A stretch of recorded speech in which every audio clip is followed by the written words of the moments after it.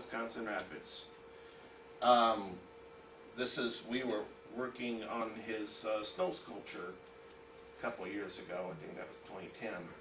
We didn't win, but uh, that the super, what do they call that, super, super snow Super sculpture. snow sculpture Yeah. spectacular. Exactly.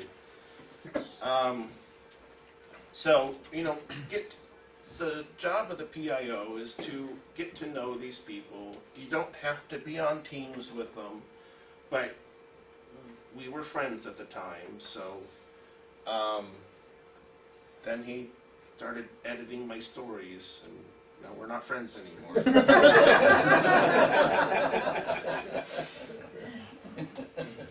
All right. And, and goes, and goes on.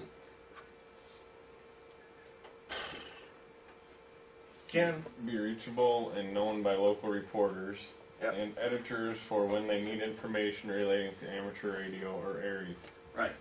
I, I think that's pretty self-explanatory. Make sure they have your phone number, your email, if they have any questions. And sometimes they do. And especially if something happens, they have to know, or they should know, you know, if, say, they should know if you want them to tell the story that you would prefer them. Does that make, make sense? Mm-hmm. Okay. Next one, please.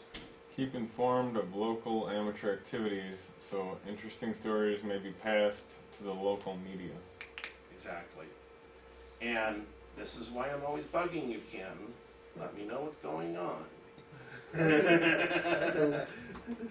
but whoever whoever takes over this position, I think uh, somebody's already volunteered, but I'll let them. Well, we'll talk about it when we get Yeah. finished here tonight. Yeah. Um, and I can help out with some of these contacts and how to write press releases. When, when do you, I mean, during the summer, are you gonna be busy during the summer? This the summer, we're still working that out. Two weeks or so, I'll know. Okay. All right. Wish I had my notes. You want to keep reading on that? Sure. Um, attempt to lessen the effects of bad press that reflect poorly on amateur radio operators or the organization as a whole. Now, this is what the in industry call damage control. Sometimes something happens with our organization or we're involved in something and our job ends up we go from trying to tell a good story to trying not to tell a bad story. And it can be really touchy. And this is this is where it comes into play where the public information officer is the only one that should speak for the organization because the public information officer along with the emergency coordinator and the radio organization as a whole sits down and says this is the message we need to say this is what we need to say this is why we need to say it and that's why the public information officer really exists. To get one message out, uh, just for cases like this. What, what happens in events like this, is he's talking about is, you've got your vest on, you've got your handheld or your radios with you, the media sees you and thinks, we're gonna get a story out of this guy. It's hard not to talk to him, but it's best not to refer him to the public information officer. We may be giving something away that, Shouldn't be given away yet. it shouldn't be quite given away yet, right? And it's a sticky situation, and I know some people don't always agree with it. I've been in arguments before where, but also on the other side, it's not your job. It's the public information officer's job. You're there to communicate. And if, if you're talking to the media, you could be missing something important. And some of what we do is potentially life and property. Next one, please.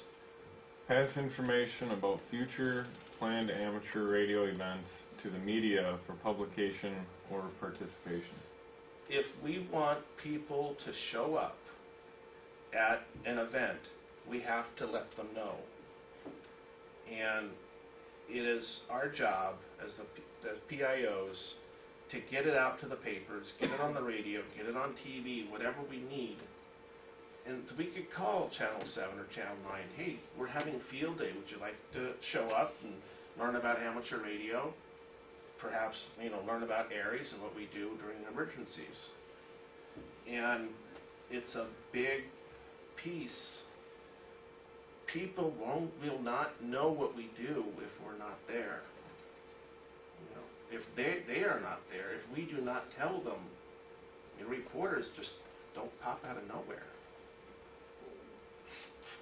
Although that one field day, I was rather surprised to see Jeff Williams at uh, Jim and Chris Bodka's house, but they did invite him. So.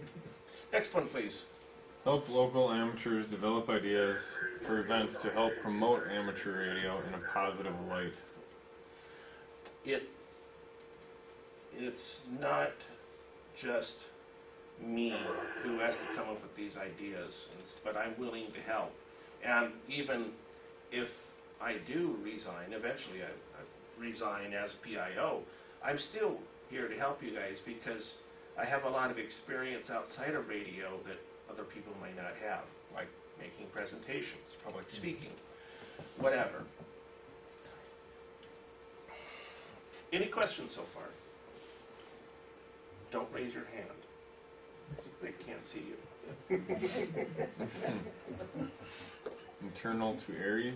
Yep. This is what we do inside of ARES, or although in this case, it still could be considered outside. Does anybody not recognize at least one of these people here? Mm-hmm. Now, the gentleman is a little more obscure. Anybody? He's one of our county supervisors, Doug Mahan.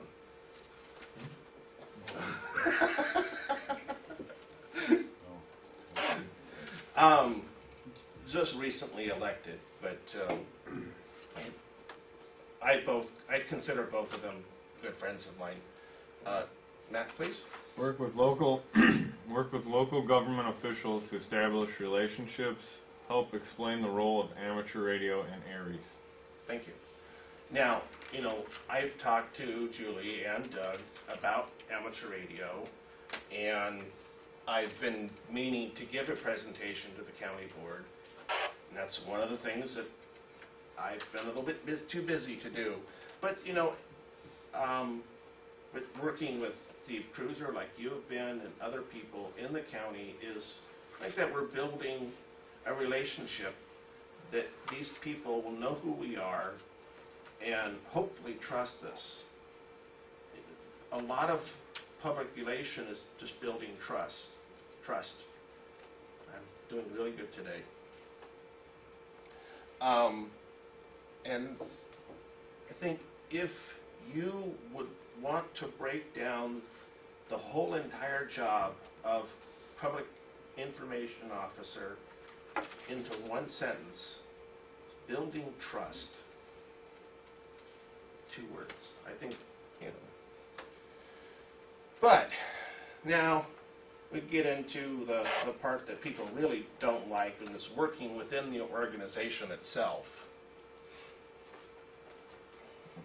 Okay, Uh, internal to ARES, work with ARRL to identify and publicize league stories of local interest.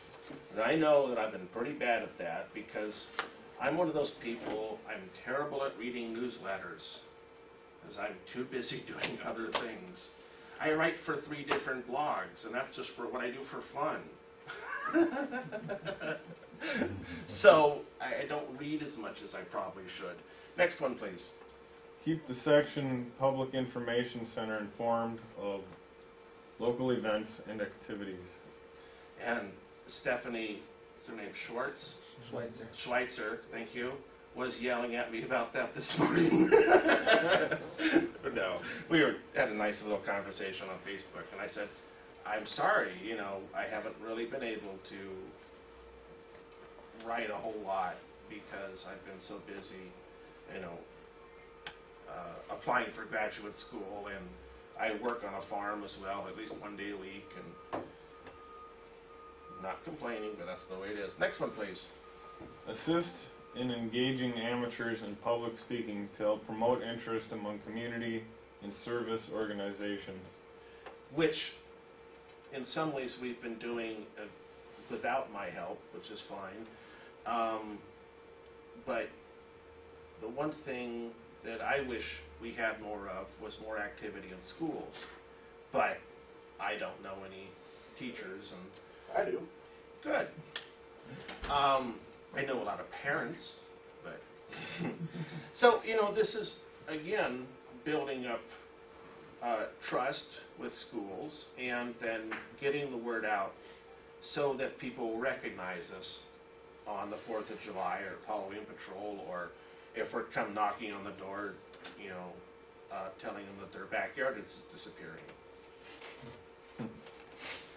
You know, it's all about getting us, getting our names out there and so that we can help people without them, you know, with, with, without them not knowing who we are. And that's, in any volunteer organization, you, that's our biggest problem. Who are you? Can I trust you? Uh, internal to ARES, keep the ARRL media and PR manager informed of any significant issues or events that are important to the league, either good or bad. and pretty self-explanatory. And you know, I I've written articles and thing and such like that about the good events, and luckily we haven't had anything bad happen here that I know of anyway. Fortunately. Fortunately. So, uh, but it is again um, for good. It's always good. For bad, well, do we need to do a cleanup?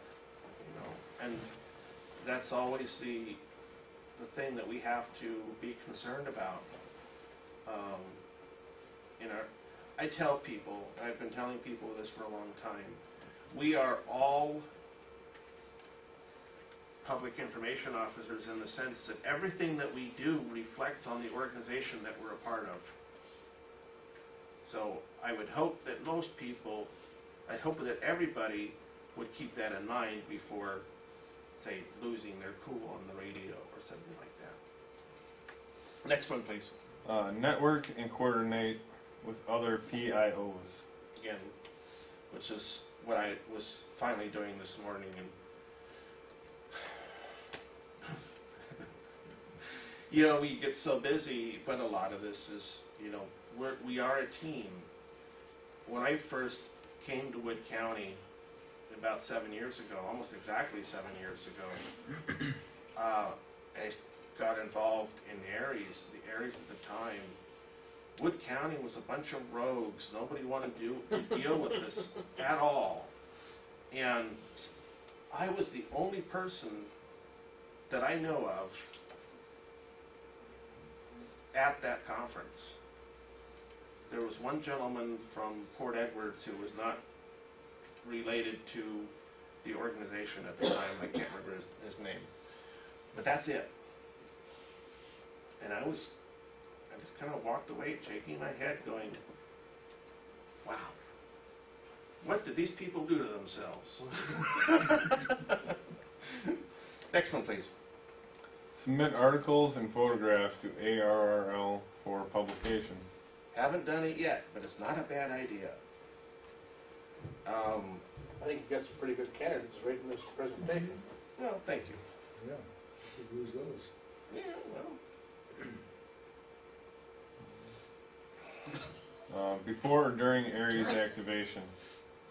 Uh, familiarize themselves with local emergency protocols. Establishes good working relationships with emergency response agencies to ensure that PIOs meet all requirements for participation. And if you're having trouble with this, Matt, I mean, this is the stuff